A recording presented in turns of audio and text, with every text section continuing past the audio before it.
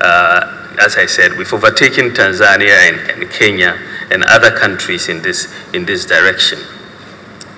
And thankfully, uh, we did it uh, with, within budget. I, I, I, I, I, say so. I, I hope PaySwitch, you didn't spend 4.6 billion Ghana cedis on your, your, your, your development. I, I hope, I, I certainly hope you didn't. Uh, I mean, you've, you've heard a lot of discussion this week about the cost of payment system, especially this interoperability switch.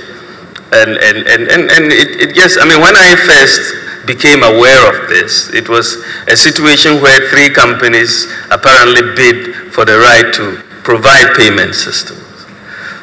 Right? The interoperability, payment system interoperability. One company bid 14 million Ghana cedis to provide that payment system and interoperability.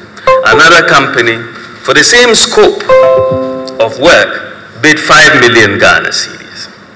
And yet a third company for the same scope of work built four, bid 4.6 billion Ghana cedis. And guess who won?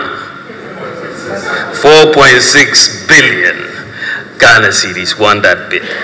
And, and, and, and what are we trying to provide? Interoperability.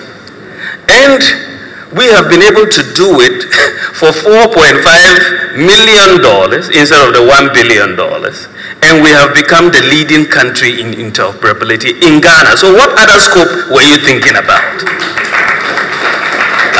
I mean, what, what more do you want to do? If you've become the leading country as far as interoperability is concerned, what more scope are you going to provide?